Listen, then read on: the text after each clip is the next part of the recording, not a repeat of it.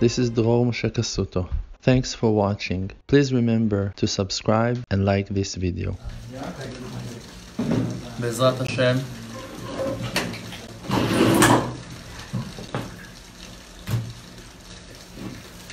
It's a very big thing that is happening in those hours.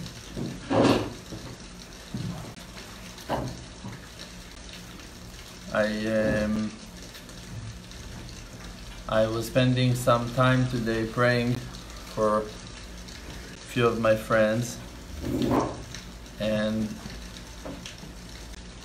I don't have that memory to remember everyone um, by heart without but I'm I'm using my my phone and I'm going through the list and I'm just like checking what's going on with the people with the friends with with my uh, homies and uh, and I'm sending some prayers. And after I send some prayers on welcome, welcome, welcome, welcome. So after I send some prayers, so I also send some texts and mention like what I feel and from which place I'm coming to pray. There is a saying by Rabbi Nachman of Breslev that says that a person should be connected and to feel the up and downs of his Rebbe, of his teacher. How are you going to do that?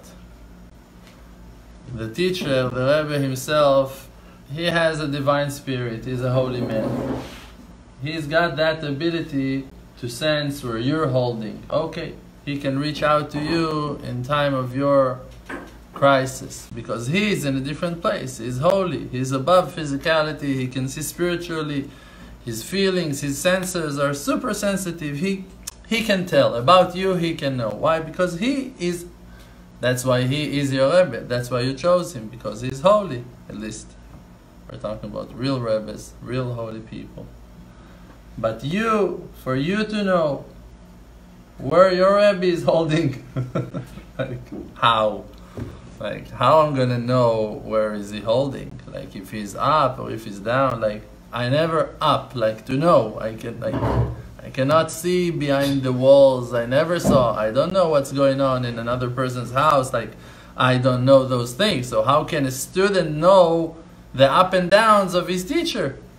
And teachers, rabbis are not usually coming and telling and chatting like, like, like this is why I'm not a rabbi because like I'm always talking people are like humble, going through their own things, and especially righteous people. You can never know what goes on in their lives. Like, not everyone are yapping like me. So, how you gonna know? So I heard once, welcome and thank you for coming. Really happy.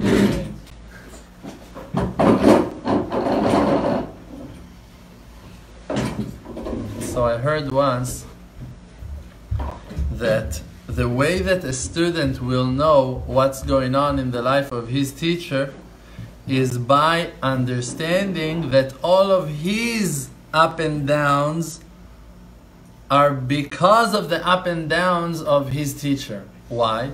Because if you are attached to someone, if you are tied to him, bond to him, so when he's going down, you're down with him. And when he's going up, so you're rising with him. So when you have your downs, from your downs, you should learn what's going on in the life of your teacher. And when you're rising, so don't hold that success to yourself. Oh, now remember your teacher that he gave you so much, that he helped you in so many ways, and he inspired you, and he's now probably going to places that you can never imagine while you are succeeding in your life. So when I'm praying for someone and I feel a certain thing about myself, and I know that there is a connection of love between me and him, between me and that person.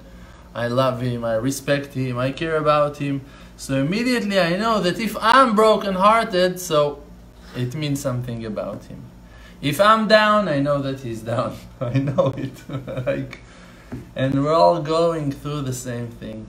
We're all one unit, and we need to understand it. The separation is a separation of physicality, of the bodies. But our souls are eternal, and we're all one soul. Not only all of Am Israel are one soul. All of the world is one spirit because it's the divine spirit and it's the spirit of Hashem. So it can be different aspects of spirit. It can be a neshama, and chaya, yechida. It can be many aspects. If want to learn Kabbalah, you can learn. There are differences between those vibes of those spirits. Okay, there are differences, but in a way, it's all one. In the most simple way, it's all one. Like that you have a head and you have a heart, you have eyes, you have a nose, a mouth, uh, different organs using for different mm, mm, works, different positions, different different effects in life, uses. Also spiritually, there are organs to the spirit of creation. And it's all in the shape of the man and Eve, the complete man, the complete soul of, of humanity. And under it, the layers of, of, of, of the wide world spirit. And when you go through something, you must not fall in that trap of the evil inclination that creates that separation to think, oh, I'm the worst, and look what I've done and what happened to me. And Take yourself out of that box. Take yourself out of that negativity and recognize the godliness of the process of your life, of what that you're going through. Try to understand what happens in different aspects, in different dimensions, because it's not only you. And it's not that we're happy not to be alone in our position and we're not finding it fun to know that other people are going through the same. But if you know that it's not only you that lost the way, and you're not alone, and everyone are searching together, it brings some relaxation to the mind. I'm not the sinner. I'm not the worst one. I'm, I'm, I'm not the reason for the exile, and all these kind of negative thoughts that the evil inclination is supplying like every moment of our lives blaming us and judging us and criticizing us and slaughtering us alive on nothing based on nothing. Because he's the snake and he's a liar. And everything that he's doing he's doing in a lie even to pretend to represent the truth that's his way to lie in the highest way of them all. That he's pretending to pull you to keep Torah mitzvot and telling you, no, it's because you're not doing this and it's because you're not doing that and you haven't achieved this in Avodat Hashem and you're not serving right and you need to commit yourself more and more. Once I said in class, the evil inclination doesn't care from which cliff to push you to death if it's going to be from the right cliff or from the left cliff. If in the end you're down to the rock bottom, he's happy. He doesn't care to bury you under thousands of pages of Gemara. He doesn't care that you will die after thousands of hours of Hitbodedut. Even more so, you know what? It's a great idea for him. Like, he will enjoy it. He likes that idea. Okay, great. You know what? We'll take a holy one. We'll take a learner. We'll take a one that knows how to pray. A person with senses, with abilities, powerful, that his fall will make thousands of other people weak. That hundreds of other people will fall to despair and to sadness because of that person's failure. So that's a pleasure for him, for the devil. And that's why no matter what we're going through, we must always, no matter which situation and embarrassment we're feeling or holding in life, we must fight that evil inclination, that Yetzer Hara, uh-uh, with no end. Just to fight with it like it's a war on life, because it is a war on life. And you're fighting for your life and for the life of your beloved ones. And I'm telling you that again. The success of that war is that you're holding on in your faith, keep on battling and keep on fighting and not letting his sadness and his negativity to reject you from what that you achieved until today, even if he already destroyed your self-esteem and comparing you to some hopeless and worthless creature on earth. Even that drop that you're holding, you must not give up on that drop. Because if you will put your mind straight to understand the use and the greatness and the beauty of that small tiny point that you achieved until now, you will recognize in it the light of God, the light of the Creator. And the light of the Creator is an endless light. Try to put the light of the Creator into a, matches box. Close the box. Okay, now it's full with tiny amount of godliness. Okay, now God, Hashem, He decided to hide Himself in that matchbox. He decided. He took that decision. Let's say so. Now I'm asking you, from that box, is he able to do whatever he wants or that now he's limited because he put himself in a tiny spot, in a tiny place? It's a joke. There's no place on earth that can limit the Almighty. There's nothing in this world that can block the creator of this creation. All this creation is surrendering completely to Him because He created it and He knows the secret of it and He's getting in and out in any way that He like. And He can bring all of His bounty through that most filthiest and, and most narrow, tiny channel to the world in a way that no one will understand how can it be. Now, when you are connecting yourself to the truth, to the truth of your creation, to the truth of who you are, to the truth of the intention of your heart, to the truth of the secret and purpose of your creation, face reality I've been through hell. I suffered so badly. I lost my mind and I lost my money and I lost my wife and I lost my children and I lost my house and I lost my career and I lost my learning and I lost my memory and I lost my happiness and I lost my last pair of tefillin and I lost my, my shoes and I'm walking barefoot, homeless in the streets. And now from that position, ask yourself, do you still have something in your hand? Do you still have something in your heart? If you have something in your heart, look at that point. Look at that spark of light that is giving you the power to make another step and to drag yourself to a public faucet to drink a little bit of water, drop of water. What is taking you there? The will to live, the will to continue, to tell your story, to fight for justice, to reveal the light, to bring back your beloved ones. Even the desire for revenge, you cannot imagine how important it is. And the Creator Himself said, Kel Nekamot Hashem. He wrote his name twice from one side of the word revenge and from the other side to show us how important is revenge. Revenge? Can we revenge?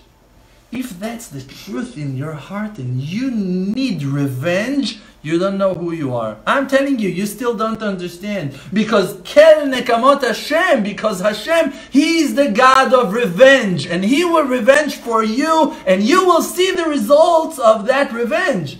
In a certain situation where revenge is blessed and allowed and needed and required, and there it's important and holy. And you, if you will judge yourself all the time, you will lose all your sparks. You're going to lose your identity.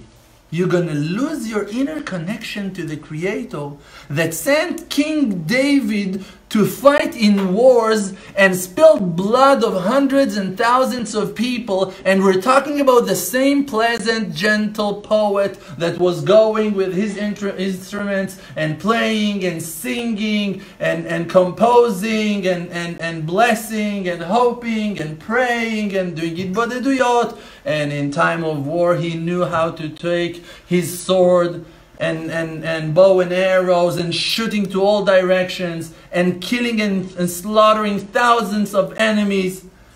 How? How can it be? Because you still don't know who you are. That's why it's hard for you. How afraid you are to kill? Are you afraid to kill? You're afraid to kill. Think about killing. Can you do that? No, you're scared to kill. I said to one of my friends, You're scared to kill. He said, No, I'm scared from the police. I'm scared to sit in prison. okay, not everyone are like you. Some people are scared to kill. Most people.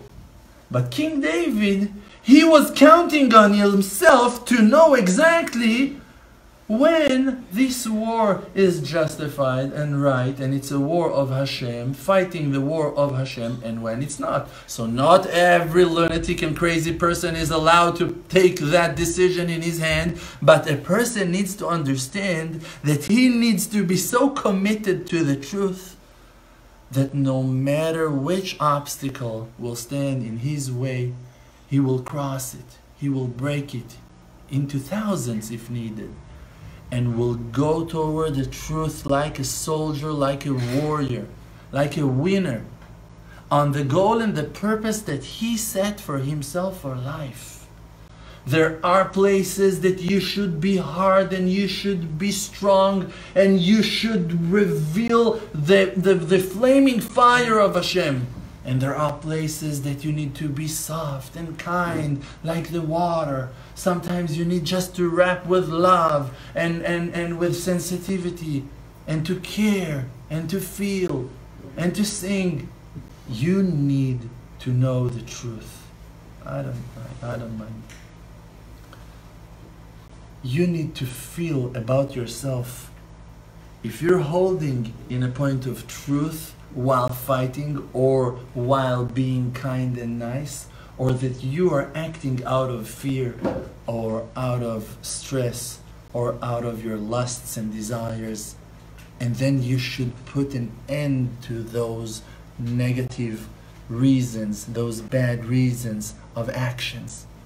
And you should take responsibility on yourself to know when to fight and when to be nice and when to go and to make changes in the world and when to relax and to make few steps back.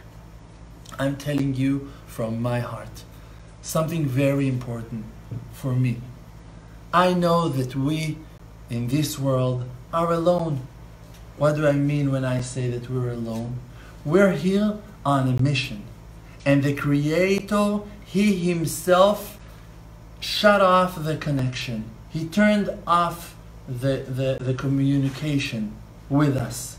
He sent us to the enemy's land, and now we're over there, and He already installed inside of us the plan and the program for our future, what we should do. And He taught us, and He gave us miracles and examples, and He taught us and gave us the Torah and the commandments and everything that is needed, and wild stories on our nation and on different nations to guide us and to explain to us exactly what's the purpose and destiny of our lives. And then, 2,000 years ago, He turned off the light.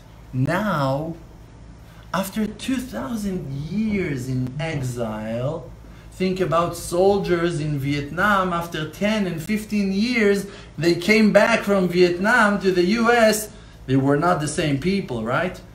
I had one student that passed away. He was a soldier in Vietnam, a Jewish soldier in Vietnam. After the war, he never, even once, and he passed away um, close to 80, elder than 70. He never slept one complete night in his life from nightmares. Hmm. one night in his life from since the war, since he came back to sleep, like since he went to sleep again. Even one night he was not sleeping calmly. Every night, nightmare, seeing people dying all around him, his best friends, his commander, whatever. Bloodshed. Now, that was after 10 years, that was after one year, that was after three months over there, after one year over there. Okay, horrific stories. We are ancient old souls that came to this earth so many times in different lifetimes rolling in and out, in and out, in and out, and carrying all the wisdom and all the emotional cargo of those souls, of those people that we were in different lifetimes, and we bringing it over and over to this world, and we are tired. We are broken already.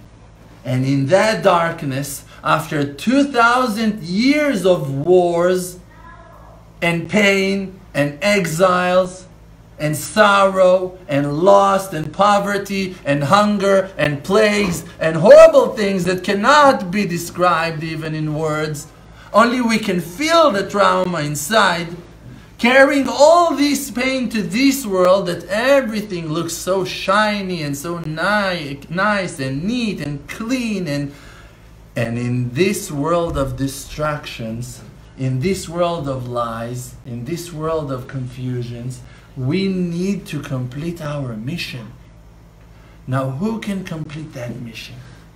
If righteous people in ancient generations were not able and begged for their lives not to come back in reincarnation, back to this world in a new lifetime, they were crying for that. Don't send us in the last generation before Mashiach will come. We don't want that. We're not able to stand in that test. They were begging not to come to this dark time. Why? Because they were scared. Because they realized that they won't be able to stand in the tests of this generation. You know why? Because it's impossible to stand in the tests of this generation. No one in this world can redeem himself. No one in this world can save himself. אלמלא הקדוש ברוך הוא עוזרו, אינו יכול לו. Without the help of the Creator to help you, you cannot defeat the evil inclination. He made of clear fire. He's a demon. He's a ghost. He's the devil. He's all around. You can never track him. You don't know what's going on. He's in and out like crazy. You cannot lock the doors from him. There's no figure, there's no body, there's no height, no weight, no face. He can dress himself in your parents, in your best friends, in your wife, in your children, in yourself, in your mirror, in the book, in the Bible, in rabbis, in people that are being called righteous. You don't know. You don't know where he can attack you in darkness. How can you win? You cannot win. Okay. But should you surrender? No. Why? Because you meant to fight. Because in your bones you feel that fire that you must win that war. And you cannot unless the Creator will help you. So we just need one help. We need Him to save us. So that's why the test is not not to fail, because we cannot not fail. The test is not to give up, because the will is in your hand, the hope is in your hand. To keep on fighting is it, it's in your hand. Because you can decide to keep on dragging yourself even a breadth of a hair every day, one less than inch a day. And it will be amazing if you'll continue doing that for years. Because you're going to show how noble and how truthful and how loyal and how amazing you are in the nature of your creation. You will uncover and reveal the treasures that the Creator planted and treasured inside of you. You will show the world that the Creator can give life to a dead body. That you are a soul that is reflecting between the stones through the cracks of a broken earthenware vessel. And the light of your soul is shining from within by not surrendering. Because I'm telling you that if you will come to me and I'm just a regular person, and you will tell me I read 1,000 books in my life, it will not gonna impress me. Because I'm gonna understand that you probably like it and you love it and you've been supported to do that. And it was, in a way, easy for you to achieve that. I'm not saying that it was totally easy, but like, okay, like that a billionaire will come to me and tell me, hey, I'm so and so rich. I have buildings in Manhattan. Okay, it's not to impress me. I'm not saying I don't want to be rich as well. I'm not saying I don't want to read 1,000 books as well. I do. but it's not gonna impress me because, like, I'm tall. I know how to play basketball. I know how to swim. Everybody knows something, and that's the gift. There was a four years old, today my children told me, a four years old kid went to play chess and, and defeated all the champions from Russia and from I don't know where. A four years old kid win the competition, the wide world competition of chess. Okay, so now what you're gonna say? Look, he's a genius. Like, um, it's not a big deal. He been created like that. He's got a computer that is much more progressed than those old guys from Russia, and he just won the game. It's not a problem. Hashem made him to be like that. It's not impressing. The talents and the gifts that you received from heaven is not impressing because you received them from heaven. I can see. You know what it means that you can see? It's such a complicated creation that you will have the ability to use your eyeball and to see, and the light and the signals will come to the brain and will explain to you, and you're gonna interpret it right and well, recognize the difference between colors and differences of, of, of distance, and, and like you're gonna know materials and like it's a wild machine. Yeah, but come on, we know that we're just using it Yet you didn't create your eyes to go and pray. No, but I can see. So what? So thank Hashem. What's your connection to your ability to see? Only that Hashem revealed His loving kindness on you and opened the eyes of a blind and gave you the eyesight, the ability to see. And except of that, you don't have anything. Except of the ability to recognize the godliness that is installed inside of you and to reveal the fact that it's godliness and it's not you, there's nothing else to life.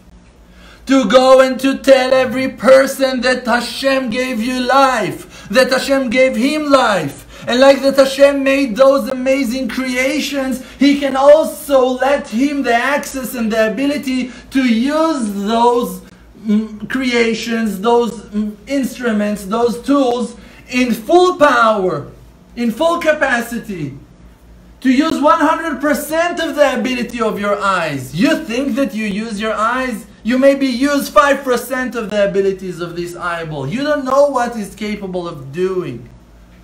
The eyes of a person are coming down to earth from Ene Hashem asher hema meshotetot bechol haaretz. The power of sight that you can see is coming from the divine eyes of the Creator that they are walking all around earth and seeing everything and for Him the night is shining like the day and he can see the hidden places and he can see the thoughts of a person and his regrets and he's yearning for hope and for tshuva and he sees different lifetimes and he remembers all the things that you forgot. And he sees it all with his eyes.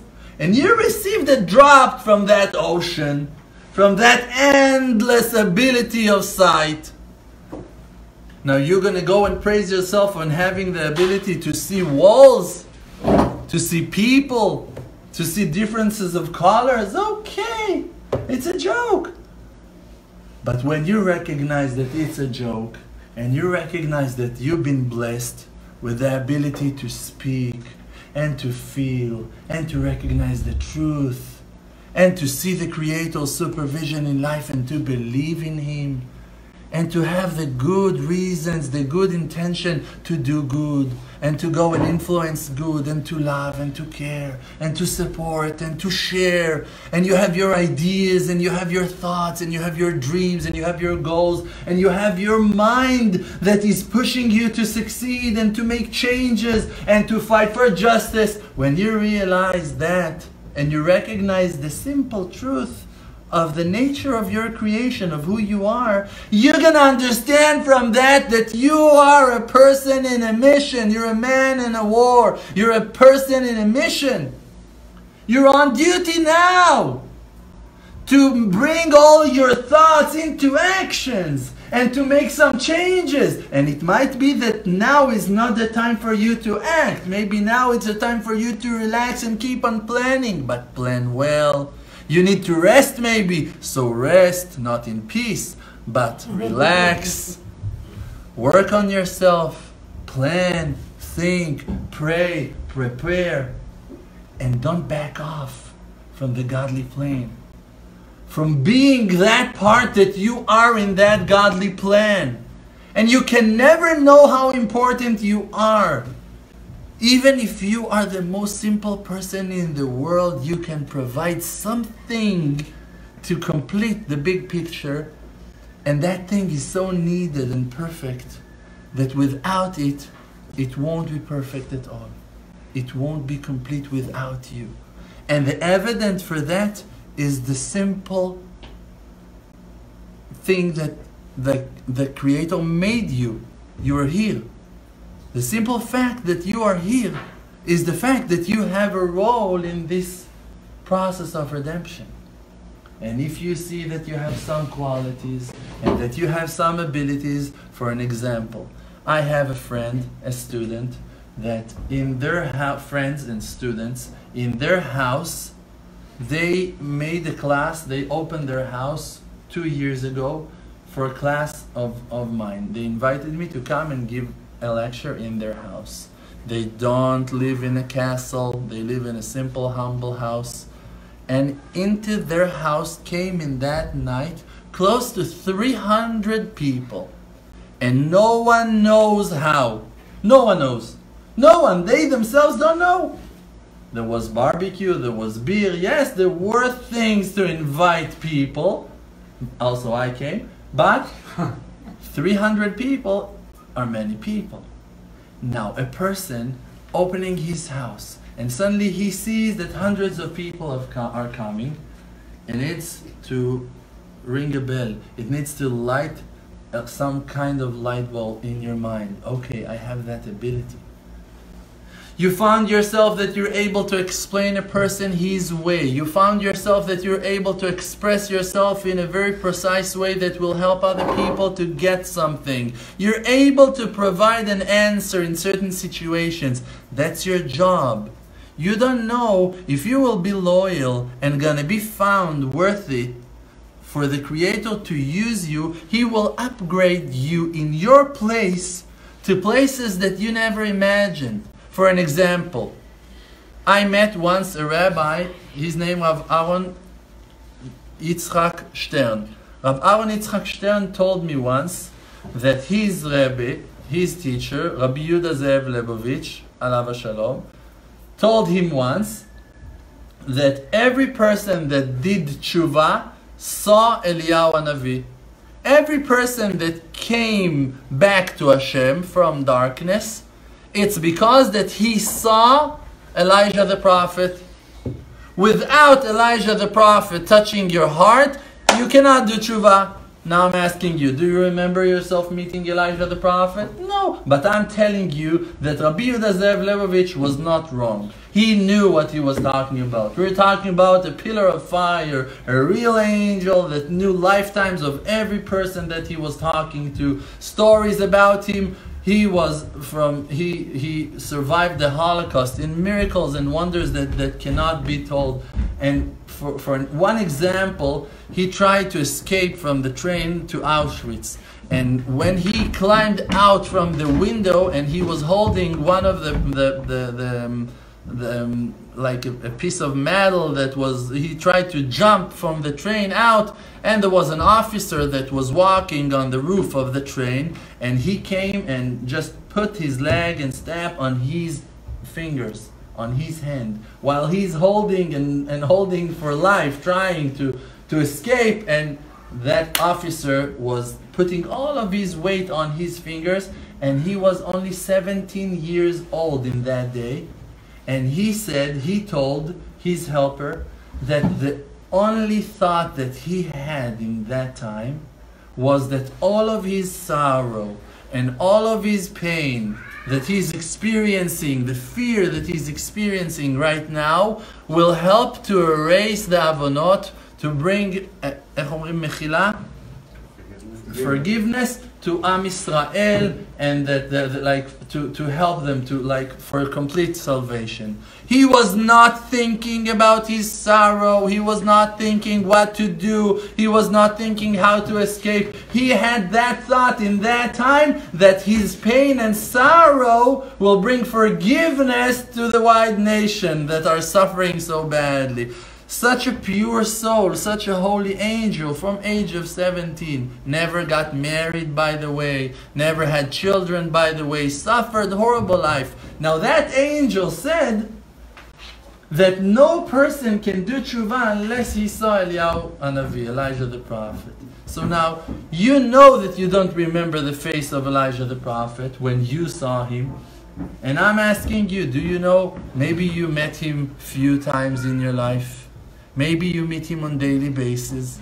Maybe every day he's coming and buying a soda in your store and you don't know. And every day he maybe he's that one that is coming and nagging to all of those clients of yours every day and talking with them conversations that you cannot. You don't know. Elijah the prophet can pretend to be whoever he wants. He can show himself as a Jew, as a Muslim, as a Mexican, as an American, as a Christian, as whatever he wants. He can pretend to be an animal if he wants. One time he dressed himself as a flaming fire bear, a bear that made out of fire, and ran into a synagogue. Elijah the prophet. He has the ability to change costumes as he wish. Now, do you know how many times you met Elijah the prophet in your life? You don't know. When you hear that the Baal Shem Tov met Elijah the prophet, oh, you can believe in that. Why can't you believe that Elijah the prophet came and knocked on your door to ask for charity? And you gave him 20 cents. Why don't you remember that? Why can't you think about that?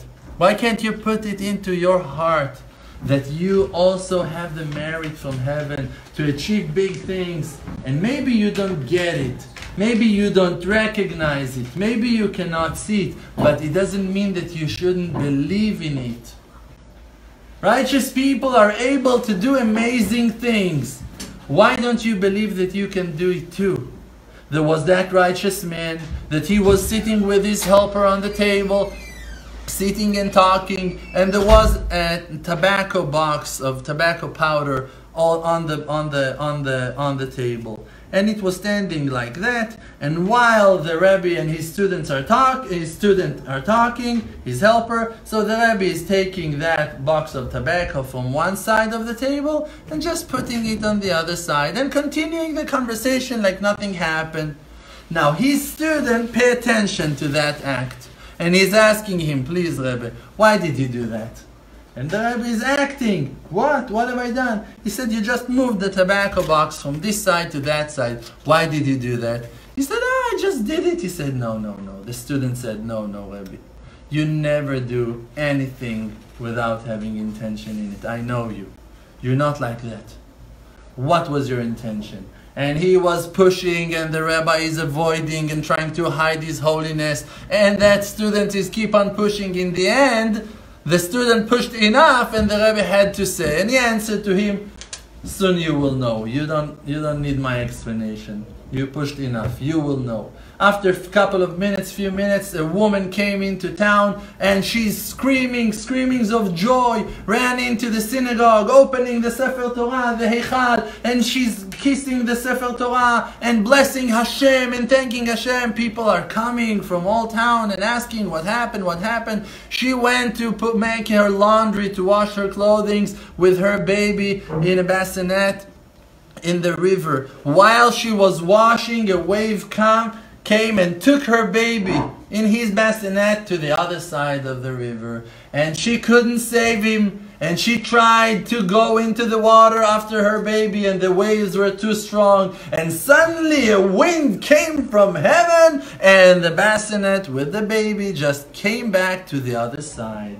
Amazing! A story, a miracle on that righteous man. Look how great he was, how powerful he was. I'm asking you now, in reality, how many times in your life you just, without being aware to your actions, just took a certain tobacco box in your life and just moved it to the other side of the table? Just with no reason. I just did it three times without thinking about it.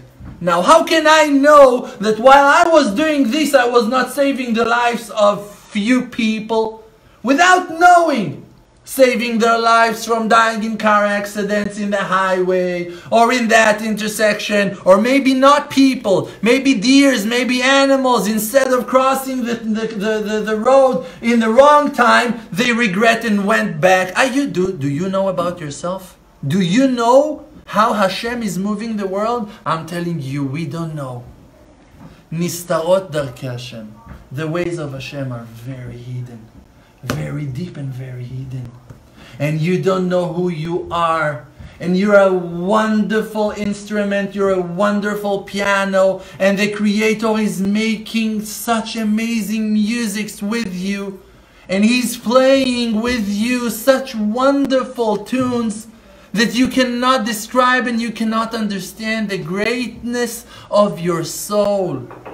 You are a physical tool in the hands of the Creator. You're a pen in the hand of an author, of a writer. You don't know who you are and you can't understand the greatness of the Almighty that He created and designed and made it all. But why that righteous man had the ability to see and recognize? Because his eyes were pure. Because he worked on himself not to be selfish and to care about others and to think about others. There was one righteous man that that righteous man was once in a while suddenly disappearing from the synagogue, from the Beit Midrash. Suddenly he was not there anymore. And his students were looking after him, and after a couple of hours, suddenly he was there again. Hey, where have you been? What happened? After two months, a person came, oh, from a different land, from Europe, from Israel, from no one knows where. He came, oh, in that day, in that hour, suddenly your Rebbe, he came to our town and he was helping. Stories were flowing into their synagogue from four corners of the earth to tell them wonders from their Rebbe, from their teacher, that he was making those wonders in different lands, in different places. Above time, he would disappear for five minutes, and in those five minutes, in Russia, in Poland, in Egypt, in Morocco, in Israel, he was making wonders in those times. His students, they wanted to know. What are you doing and how are you doing? He told him, listen, I'm not doing anything. They told him, you must tell us. You're making kfitzat derech. It's a known concept. Jumping from one spot in the universe to another spot. You have that ability. Tell us how you do it. We are your students. You must teach us whatever you know. Please tell us. And they were forcing, forcing, forcing. In the end, they forced him enough and he had to tell them. Because a righteous man, a rabbi, a real teacher, he must tell the truth. And when he's being pushed, he's seeing that the Creator is pushing him to that corner, he must tell. So when they pushed him enough, he had to tell, and he told them, you know what? I'll tell you how am I doing it. When I sense that there is a person in sorrow, I want to help him so much that the Creator, He sees my sorrow and immediately He takes me from where that I am to a different place to help that person and then I'm coming back. That was His answer. No Kabbalistic combinations, no numeral value, no skipping letters, no, no verses, nothing.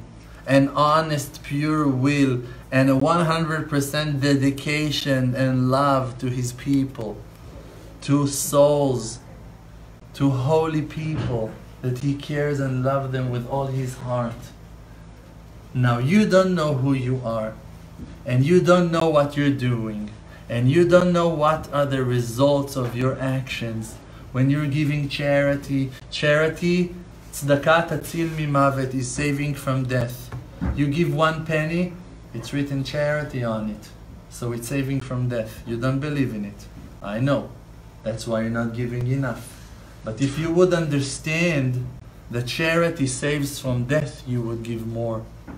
And there are more and more things that are making those wonderful effects on life when you're learning, when you're praying, when you're nice, when you're kind, when you're generous, when you think holy thoughts, when you're struggling and fighting to achieve good, to fight for justice. You think that you're maybe making some small changes in your place. You don't know.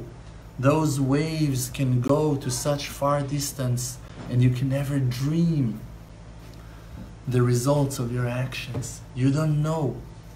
You don't know. But you should believe. You should believe in the Creator that He is so deep and so sophisticated and so great that He made that world in such a wonderful way that you and your role are so meaningful and so important. And you're not allowed to give up on yourself. And you're not allowed to give up on your beloved ones. And you're not allowed to give up on the Creator and on His truth and on justice and on good things that needs to be revealed in the world. And like I said before, it seems that we're alone in this world, alone in our mission, but we're not alone from inside. We've been divided physically in our bodies, and everyone feels so alone and so cut from everyone else. And physically, you are. And no physical connection is a real true connection because it holds the separation. The need for physical touch is showing the lacking and the, the dividings that, that are, are desiring for completion. Physical connection is a, a connection of, of, of lie in many, many aspects, in most of its aspects. But a connection that's based on heart, on emotions, on respect. That's a connection that will hold forever. And in that way, we're all connected and we're all one. And when one is rising, so he's uplifting all the rest with him because they're bound to each other, they're connected. So when you're fighting, and when you're completing, and when you're achieving, and when you're marching and stepping forward, even baby steps, you're pushing the wagon toward the complete redemption. You're bringing salvation to thousands of other people. You made one inch, but you don't know that your friend, he was lack of one inch to get his paycheck, to find his soulmate, to buy that house. And by that inch that you pushed, he bought that house, and you don't know that. And he got married, and they got engaged, and you don't know that. But you should believe in that, because that's the way of Hashem. It's hidden and mysterious, but it's bringing us to a complete redemption. בעגלה ובזמן קריב, ונאמר אמן. Thank you. That's it. You can go. We hope you enjoyed this video very much. Please now remember to subscribe and like this video and share it with your friends to help spread faith in the world. For more, please visit Emunah.com. May your light shine always and your requests should be answered with the greatest blessings. Amen.